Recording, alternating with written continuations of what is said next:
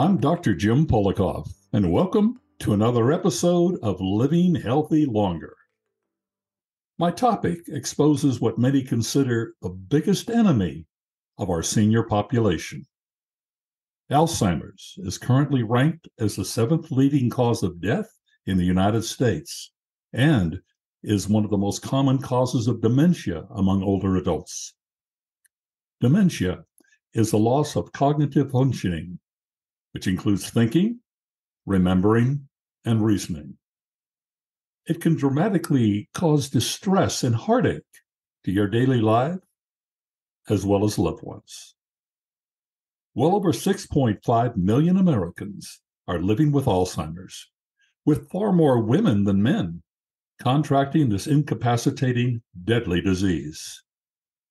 My guest is Dr. Heather Whitson, Director of the Study of Aging and Human Development at Duke University's Aging Center. Dr. Whitson also leads a collaborative Alzheimer's disease initiative that brings together investigators from Duke University and the University of North Carolina, Chapel Hill, with a bold vision to transform the research and care of dementia. Welcome, Dr. Woodson. Thank you. Thanks for having me and thanks for covering this topic. Well, it's our pleasure. It's an important one, that's for sure. Now, perhaps you can begin by describing how Alzheimer's disease affects the brain. Yeah, sure. So that's a that's a good question. We know a lot more about that than we did even 5 or 10 years ago. So Alzheimer's disease and other types of pathology that cause dementia um, are caused by misfolded proteins in the brain and whatever it is that caused those mis- those proteins to misfold. So it's important to realize that when people are experiencing the symptoms of dementia, like memory loss and confusion, what's happening inside the brain, inside the nerves of the brain, are these misfolded types of proteins, um, and then uh, other changes to other types of cells that we think either cause those proteins to be there or are a reaction to those proteins being there. So what are they doing? Are they these proteins? Are they actually slowing down the brain uh, so that it's difficult to remember something? For example.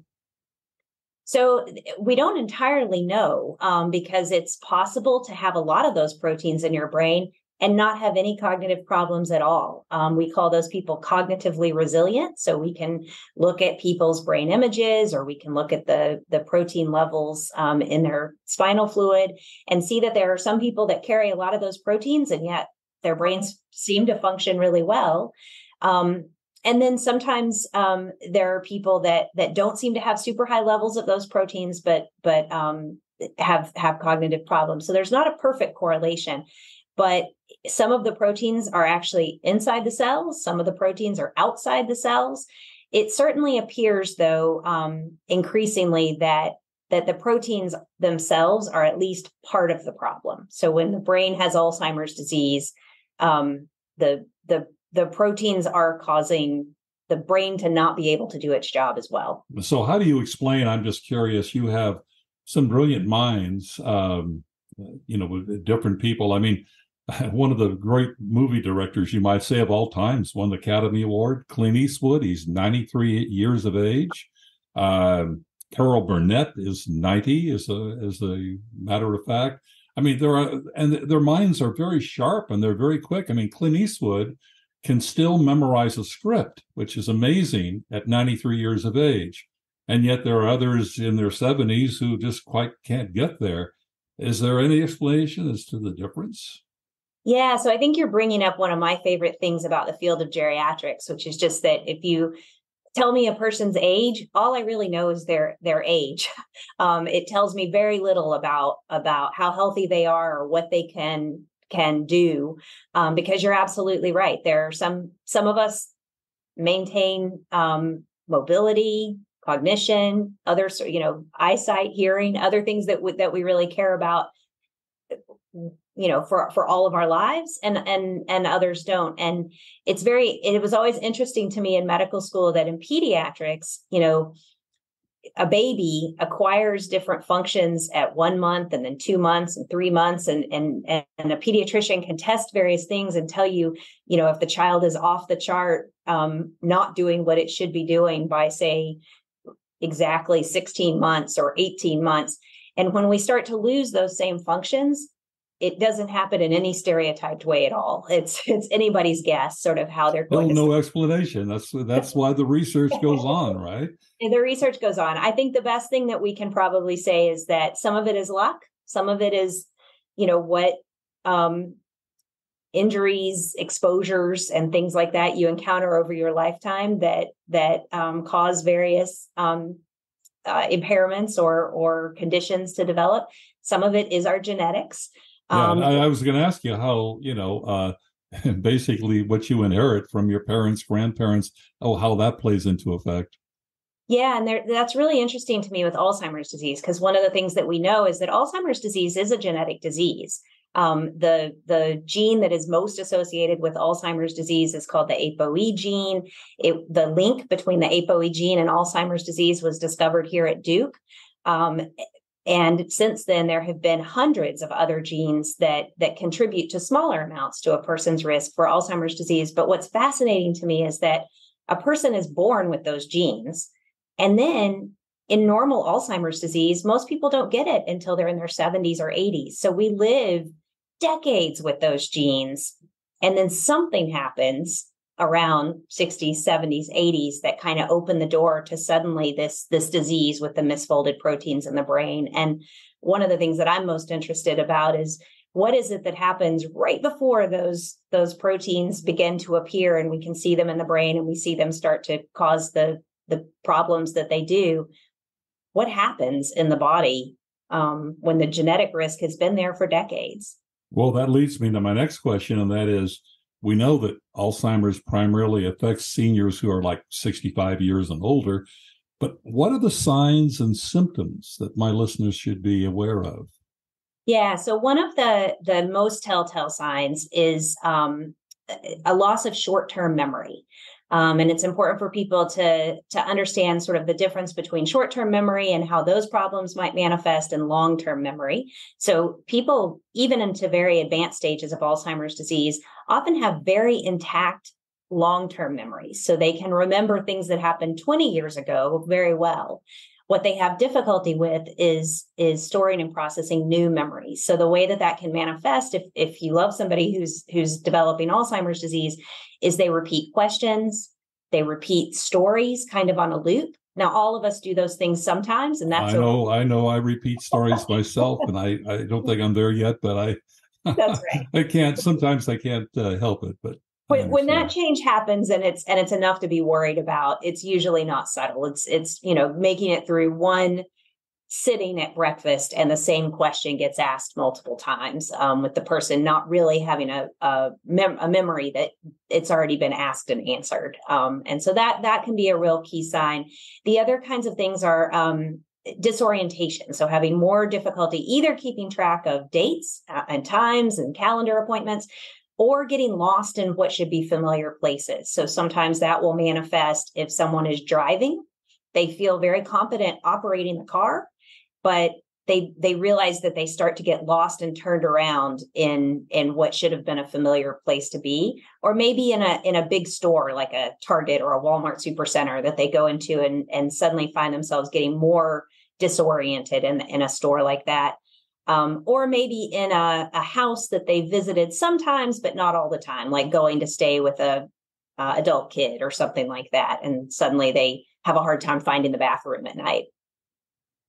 And what about the idea of should one worry if he can't or she can't remember the name of someone after you know after shortly meeting them or uh, that's something i was i would imagine that god i think from the time i was 20 i was poor at remembering names. So I'm not sure that's a sign. Yeah, well, so so the answer is it it certainly can be um, language difficulties are often one of the presenting symptoms of certain kinds of dementia and, and can be present in Alzheimer's disease dementia too. Um, but what you're describing is a very common thing that we all experience more of, which it, even in the in the aging literature, it's called TOT or tip of the tongue, where you know the thing, but you're just having a hard time thinking of the word that you want to say for it. That happens a little bit more as we age to all of us. Again, there's some point that it starts happening so frequently um, or to such degrees. So you might hear a person with with dementia substitute words very frequently. So you know that the word that they're trying to say is shirt, but they say jacket because they just couldn't find the word. They couldn't find the word shirt. Uh, it, what about the uh, slow on the uptake? If if someone you know seems to react very slowly to questions you might ask them, for example, is that another sign? It could be a sign, and there are again certain neurological conditions that we maybe associate with with that slowed reaction um, which can happen in Alzheimer's, but also Parkinson's disease um, and and other conditions where that slowing is is sort of a real feature. But again, you know, everybody's processing speed and reaction time gets a little bit slower as we age. It just does. It starts about age 30 in the population. Well, right. Well, I, am just wondering, I, I try to to see if I can correlate our minds to a computer and over time, as we age and as we gather more and more and more information, does the computer begin to be a little bit congested and slow down? Have, have there been any studies that correlate to that?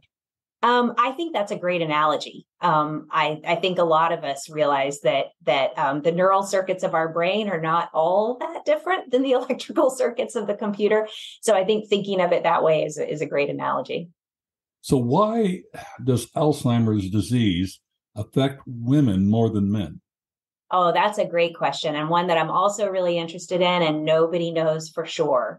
Um, so, you know, one of the questions that we've asked is, um, is is it possible? You know, when I talked before about we've lived with these genes our whole lives, and then clearly something happens in these later decades of life that seem to sort of open the door, and the and the disease manifests for women is there something about menopause? You know women go through a very dramatic um, body change uh, at, at, at, right about what would be the right time that kind of late 40s or early 50s and that seems to be the time at which the door opens. So there are certainly people asking that question addressing that question and there's some early data to suggest that that may have something to do with it but the truth is we don't know.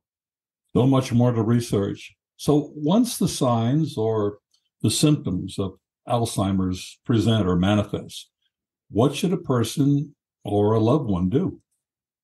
Yeah, so I think that it is uh, important, and it's also important to realize that that one of the things that is variable in Alzheimer's disease is the degree to which the patient has insight about it. Um, and so that that is for some people one of their kind of clinical symptoms is that they don't have insight into the fact that they're having short-term memory problems or getting turned around. So whereas some patients do, some patients are very aware um, that this is happening. So if you're observing it in someone or you're feeling that it's happening yourself, either way, we really do encourage um, an evaluation. And the reason that I think that that's all the more important now to do the evaluation is that we're starting to get treatments that we can actually do something about it and all the data for, so far suggests that the treatments are going to be more effective the earlier we start them. So earlier early detection is obviously the key. And uh, then do you present yourself? I mean, obviously, if you're if you live in Raleigh or Durham, I mean, you certainly can come and visit Duke. But if you're in an outlying area or in a different state or whatever, do you see your primary care doctor? Do you go straight to a neurologist? What's your advice? I would talk first to the primary care doctor. The other thing for people to know is that they can get, um, you know, with Medicare, you can get an annual, um, you should get as part of your annual wellness check, um, a, a cognitive evaluation, just kind of a cognitive screener that that any primary care provider um, can administer. So they should administer that. But now, I still should you ask for that because I'm I familiar that some primary care doctors do not do that as part of the Medicare screening. That's right. And I think if you're having any concerns about it at all, or if you have a family history, which might be enough reason to be concerned, to ask for that um, as a screen. But also keeping in mind that, again, um, especially people who are lifelong good test takers can definitely be having true cognitive changes that they perceive and they still ace that test they you know it's a screener so it's the the screeners that are most often used in practice are no more than 30 questions um, often less than that and so people might make a perfect on that. And still, if you feel that you're having some kind of a change that is more than just you know the the occasional sometimes we all forget a name or sometimes we all ask the same question twice um, if you really think that this is happening in a sustained way i think being um, being upfront and not letting um, someone just reassure you and brush it off is well probably- and you're exactly right because you know if you look at the typical average of a primary care doctor the average national average is seven minutes for the patient yeah. So in seven minutes, there's a lot, lot there's a lot you can't do, and that obviously is concerning. So is the next step if if you if your primary care doctor is concerned or you feel you're not getting the proper concern would you then go to a neurologist? Would you is that what you recommend i would. i would do one of two things. It can be a neurologist or other memory disorder specialists which can be geriatricians. Sometimes they come they're psychiatrists. Um, but but looking for a memory care um, specialty practice because also there are in, um, increasingly available tests that can be done. Now one of the tests that we use most commonly is a lumbar puncture. So some people say you know i don't want to go in for a lumbar puncture unless i really want to want to know and i and i might do something differently or it would um, help me make different plans um, if i knew.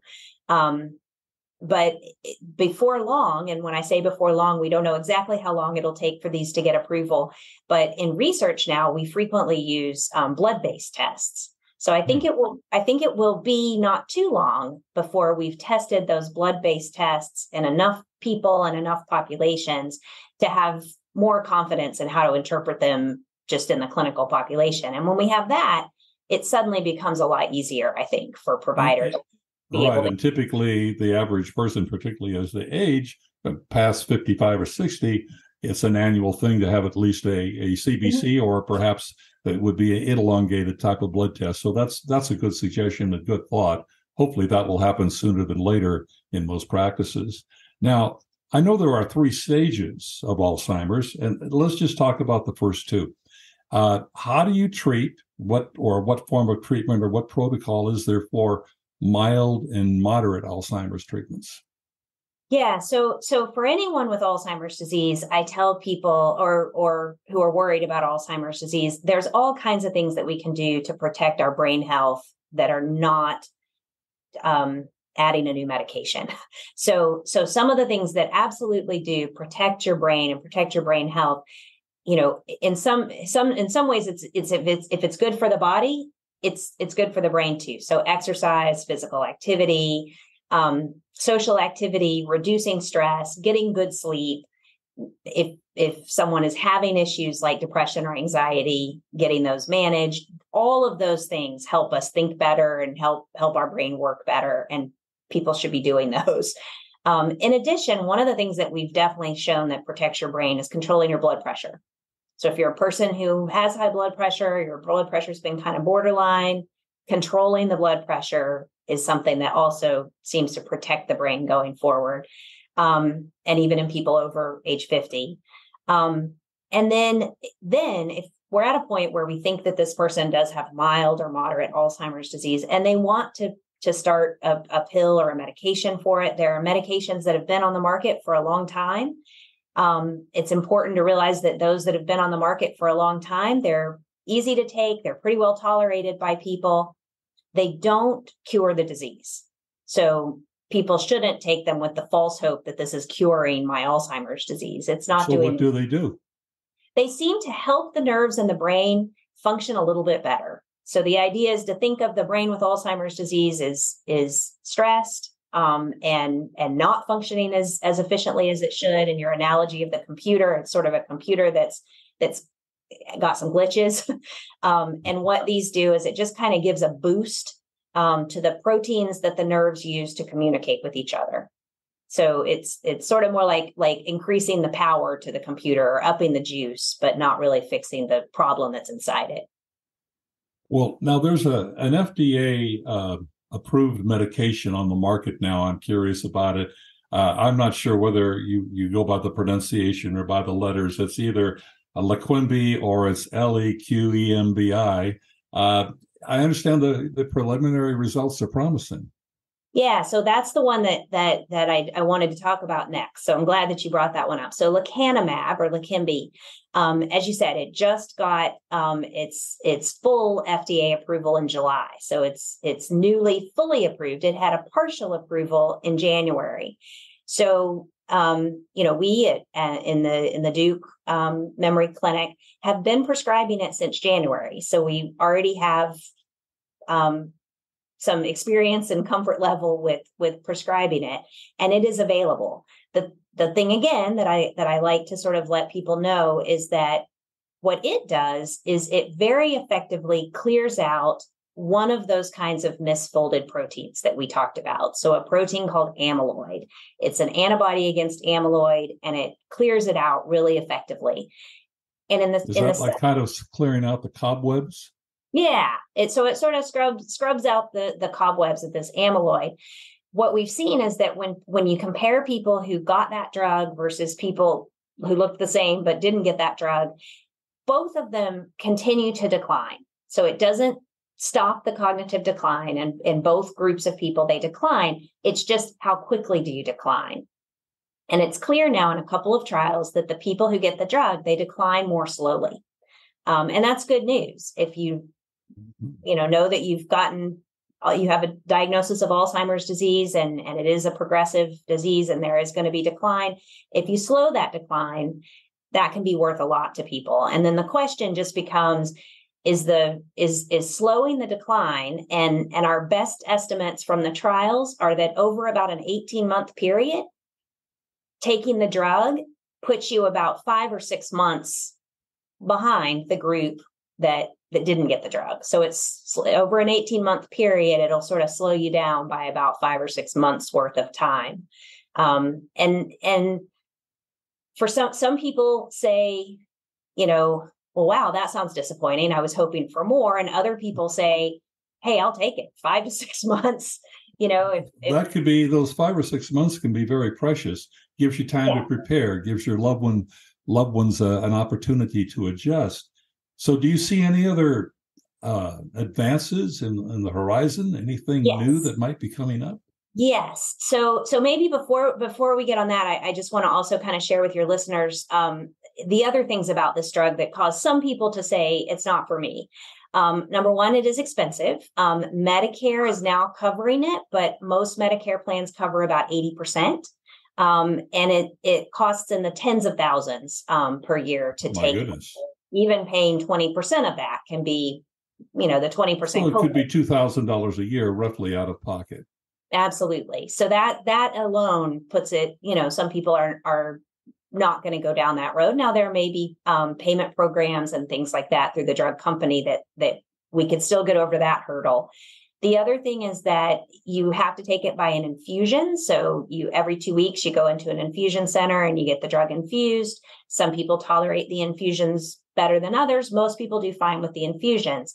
But the, the real thing that we think about with this drug is it comes with a side effect, and it's a side effect that it depends on your genetics, how at risk you are for the side effect. There's three different kinds of of uh, three different varieties. You can either be somebody who doesn't have the ApoE4 gene at all. You can be a person who has one copy of it, or you can be a person who has two copies of it. The two copies people are at much higher risk and and what they're at risk of is brain bleeding or swelling mm. and so that seems you know that's that that can be a pretty serious complication if it occurs fortunately in the in the studies and in our experience so far when we stop the drug and follow people their brains recover and there's there hasn't been lasting damage but in the studies particularly if people were on any kind of blood thinner there were deaths associated with the brain bleed so people need to go in understanding that you know, I really don't recommend it for people that are on blood thinners like Coumadin or Warfarin or Eliquis. Um, right, that and, makes a lot of sense. Mm-hmm. You mentioned APO in lay terms. What does that mean? Yeah, so that's just the name of the gene. That's the gene that that has that we already knew is is a major risk factor for getting Alzheimer's disease. It turns out it's also a major risk factor for getting this complication associated with the treatment. So, so it's important to know your genetic status if you just if you're making a decision whether or not I want to go down this treatment road.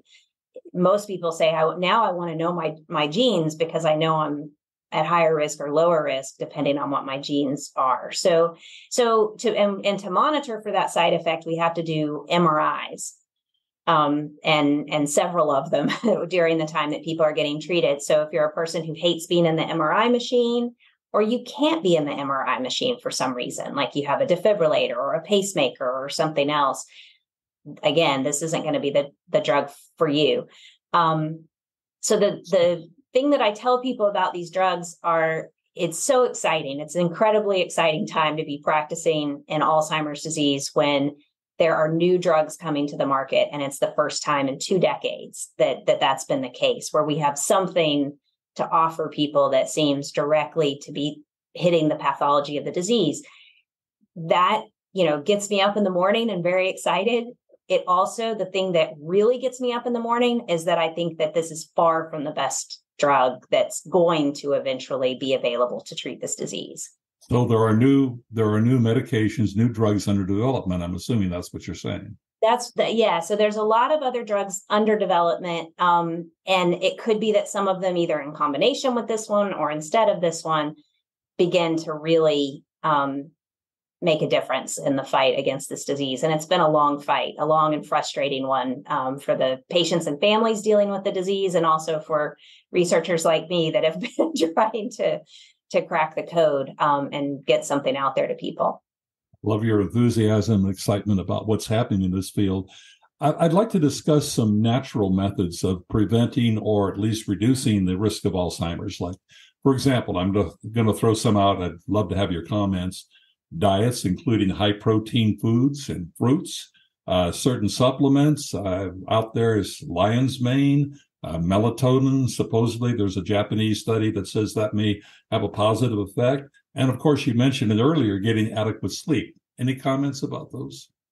Yeah, so so the diet one is is a big question, and it's probably one of the most common questions I get in clinic is what should I be eating to to protect my brain? Um, it, there are so many studies, hundreds that have looked at a specific vitamin or macronutrient or micronutrient. My feeling on those is that it's prob I there I haven't seen any of them that that look like a game changer to me. The the best data for just a, a general type of diet that most people feel like can be kind of sustainable is a Mediterranean type diet. And that's the one I recommend. Yeah. So I think a Mediterranean diet, and people can go online and see what they can and can't eat on a Mediterranean diet. The other thing is that the evidence is pretty pretty strong that that there's a lot of things that we can eat and drink that are bad for our brain so whereas i never tell people that they have to go total teetotal and avoid all alcohol i think people should know that alcohol is a neurotoxin and if you're worried about protecting your brain not overdoing it with alcohol um, is is a good thing to do. Um, the other thing is avoiding really processed foods. There's there's um, you know quite a bit of data that that um, sort of processed foods and general foods that that um, are are not healthy. Um, and by that, I just mean kind of your snack foods and desserts and all the things that we know we shouldn't eat. They're bad for other parts of your body there, but they seem to be bad for your brain too. And that's a good correlation. Uh, are you familiar with? It's called the Mind Diet. Uh, it's a combination of the Mediterranean diet and the Dash mm-hmm. diet. I don't mm-hmm. like the word diet. I'd rather use the word style, Mediterranean style, whatever. But have you uh, are you familiar with that? And is there much difference between that and just a straight Mediterranean diet? Um, so there, there is some difference. And yes, I do think that the mind diet, um, again, a thing that people can look up, you know, the DASH diet, a lot of what it did was reduce sodium. Um, and and um, it was initially designed to control blood pressure. And we sort of talked before about how there is this correlation between somebody's blood pressure being out of control and maybe not even terribly out of control, but just higher than it needs to be. Um, and that not being good um, for long term brain health. So I do think that combining um, those two with the mind diet um, is a is a real promising diet or lifestyle. I like that too.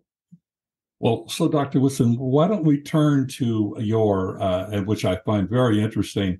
You lead a collaborative uh, Alzheimer's disease initiative uh, that brings together investigators from uh, Duke and as well as UNC Chapel Hill. Uh, tell us about the program. Yeah, so um, we started this program a few years ago and got uh, NIH funding as a center of excellence uh, in fall of 2021. So this is a collaboration between Duke and UNC Chapel Hill. So normally, obviously, we're um, bitter rivals on the basketball court, but um, our our tagline for the center is that when it comes to fighting Alzheimer's disease, we're all on the same team. So um, I, I, think that this collaboration made a lot of sense because um, in many ways the schools are they're so close in location both you know national superhouses um, of uh, superpowers of um, medical research.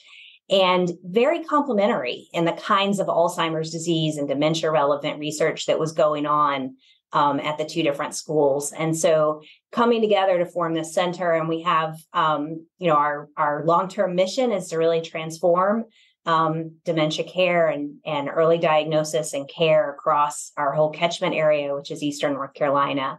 Um, we also have what we refer to as our sister center, which is Wake Forest, um, has an Alzheimer's disease center too. So between these two centers, we really have the state of North Carolina um, well covered. And then at, at our center at Duke and UNC, our, our focus is on these changes across the lifespan that alter people's um, presentation of Alzheimer's disease or their experience of it. So we're very focused on what's happening in your 30s, 40s, 50s that puts you at higher risk um, for Alzheimer's disease. And that's a way that our center is a little different from what a lot of the other centers are doing. Um, we're one of the only center one of the only alzheimer's disease centers in the country that mostly enrolls people who do not have alzheimer's disease because we're trying to get people younger and when their brains are are still free of alzheimer's disease because we want to catch what's happening during that critical transition period right before they get the disease. That's so important and obviously with all these institutions collaborating together you have a larger study group than probably most universities in the country do so uh, that's uh, laudatory. So I'm I'm very impressed. I understand you have a clinical trial. Can you tell us a little bit about that? Uh, exactly what the trial is and the early detection of Alzheimer's. I think you alluded to part of it there in your statement. Yeah, yeah. So I'm so we do have we do have some trials um, going on. I, so when I when when I hear trial, what I what I think of is that we're offering somebody an intervention and comparing it to to placebo. So the the study that I think you're talking about is not really a trial, and that we're not giving people a treatment. Um, although if they if if we hear about an opportunity for a treatment trial that would benefit them, we send them over there and, and they can get the treatment. But in this study that you're talking about, what we're doing is is enrolling people. We're enrolling people who have a family history or a known genetic risk factor and we're starting there's there's studies for people as young as age 25 so a 25 year old who has a grandparent um, first you know a, a, relative with with alzheimer's disease um, can come and be in the study. We collect um, samples from them. So some of the samples that we collect are bloods and spinal fluid um, images of their brain images of their eyes um, and then when people turn 45, we can include them in the study where we can follow them every year. So we follow them every year, um, and both so that we can give them information about themselves and connect them to to new data and and findings about how they can protect their brain and reduce their risk, but also so that the data we get from them can get into the hands of our researchers and investigators who are trying to develop new treatments um, and learn new I things. think that's a great program. Now, do you study, like for somebody who's in their 30s or 40s, do you study them over a period of time as opposed to just, you know, uh, gaining some initial information and evidence from them? Yeah, so starting at age 45 is when we bring them back every year. The, the people in our very young cohort, what they're doing is kind of doing us the favor so that if we in our if Eh, you know if we start to see something in 50 and 60 year olds that looks like it might be preceding this onset of Alzheimer's disease. The question then becomes is what we're seeing just a change, just an age related change, just something that happens with people as they get older, or is this really disease related? And having that younger cohort, their data is a good touch point for us to be able to go back and compare and say, no, is this just a change that we're seeing that's mostly an age thing, or does it look like um, this is more disease related?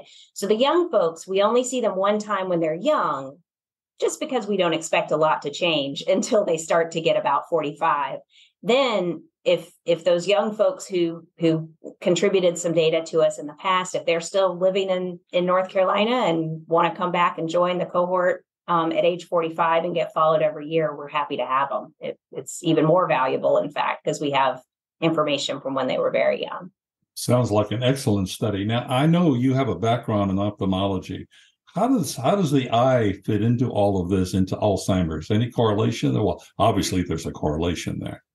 Yeah, so that's really interesting. So I guess I'll clarify. I'm not a trained ophthalmologist. My training is in internal medicine and geriatrics, but my research has been in ophthalmology. Um, and I've collaborated with a lot of ophthalmologists because one of the things that I've always been very interested in is um, you know when we have when when a person has a brain that has started to experience either these misfolded proteins of of diseases like alzheimer's disease or other issues strokes other vascular um, problems that happen with age what are all the other things that we can do to try to help and protect that brain? And one of the obvious things is to provide it with the best sensory information that it can get so, you know, we all don't, we don't, we kind of take it for granted, but the, the, for most of us, the information that our brain uses relies on what we see and hear, um, or taste and smell. And, and those are other functions that often decline with age. So if we can do everything that we can to sort of protect vision and hearing or help people accommodate vision or hearing problems that they may be having, my question has always been does that is that um, uh, sort of a um, a treatment approach that we haven't fully leveraged um, in being able to protect aging brains? Um, and so it turns exploring that further obviously which is good. What? sorry i said i said you're exploring that uh, in greater depth obviously which is good. Yes we are and you know um, it, it, certainly looks um, like there like there's real opportunities there. And that is another thing that we tell people when they're uh, just getting an early diagnosis is that you know if if they need hearing aids to go ahead and see about getting hearing aids if they have issues with their vision it's a good time to see an eye doctor. Um, again you just want to give give the brain all the the clearest signals that it can possibly get especially if it's starting to struggle with information right now, as we conclude, I, I, I, think we want to get to the what I call the bad news because we haven't talked about it yet. We get to stage three, uh, and you know, basically, I know. I guess the typical life expect, uh, expectancy is somewhere once you've been diagnosed with Alzheimer's. Uh, it's a wide variance, but eleven or three to eleven years, if I'm correct. But when you get to that final stage, what is someone to expect and what can someone do, and particularly in you know regards to the loved ones who at that point are reached almost a stage of panic. That's what I've seen happen in someone's lives.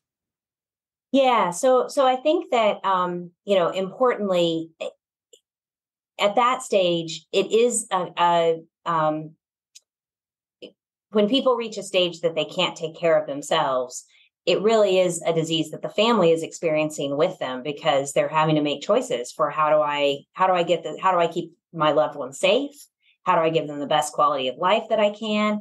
How do I deal with some of the things that that arise with the disease that can be anxiety, um, fearfulness, and there are really great strategies for kind of dealing with all those things. I definitely think that people should um, reach out to clinics and oftentimes it's not the physician in the clinic that will that will be the best source of this information but but the social worker either in the clinic or associated in people's counties with the area on the agency on uh, aging and then in North Carolina, for your listeners who are in North Carolina, there's something called the Duke Dementia Family Support Program, which is a free service to anybody in North Carolina. Um, that is a, a, group of social workers that, um, through funding from the state and philanthropy have made this service available to people and can give people just really practical tips, everything from how to navigate all of the payment systems for if if you know if we're needing to think about assisted living or memory units how do we make that change? How do we deal with things like taking away somebody's car if a person is not safe to be on the road and yet that independence is really important to people. How do we have those conversations? What are our legal responsibilities? How do we get things set up like wills and um, power of attorney documents? Um, and then just those very practical questions of what do i do if it's two o'clock in the morning and mom is wandering and won't settle down and go to bed? What are my options? What can i do? Um, and so i think those those become very real very important questions and very think- important considerations. I, am I'm, I'm glad we covered this. Uh, and again i want to advise my listeners who are outside of the state of north carolina.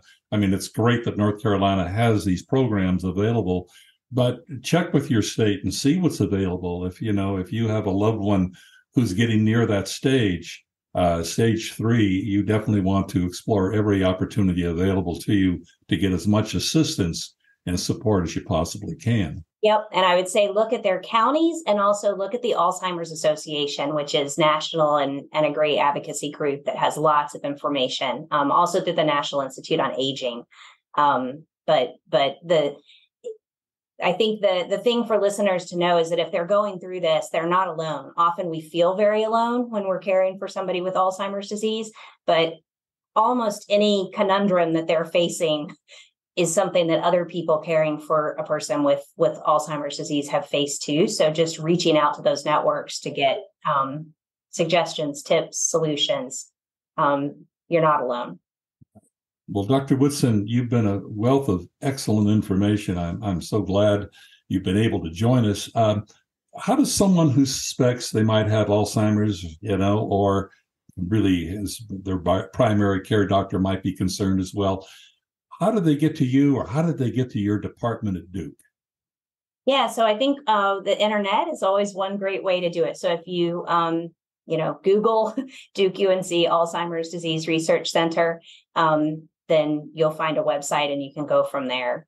Well, also your links, whatever links you wish to send to us, will be published on our website. So if any of our listeners uh, are curious or want to go to the website, they'll be able to find those links. So I want to thank you so much. You've been extremely gracious, and uh, your knowledge, I, I think, is important to all of our listeners, either for themselves or for their loved ones, because if it's not happening now, it may soon. We want to be prepared. Yeah. Well, thank you. And again, thanks for covering the important topic. You're welcome.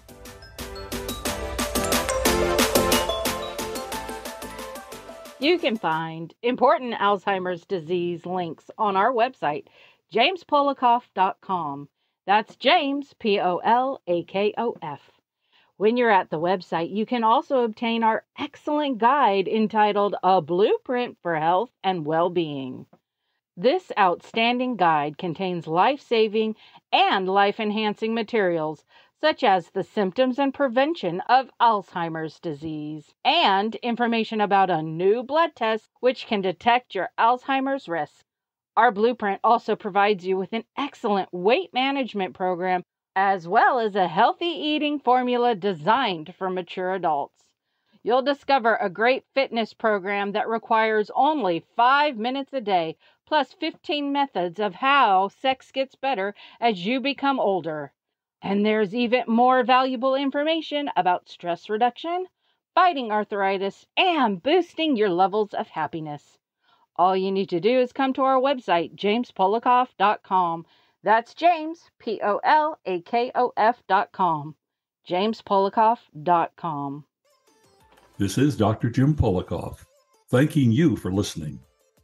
And I wish to remind you that a new episode of Living Healthy Longer can be heard on a variety of podcast platforms, including Spotify and Apple, every week. Thanks again for joining me.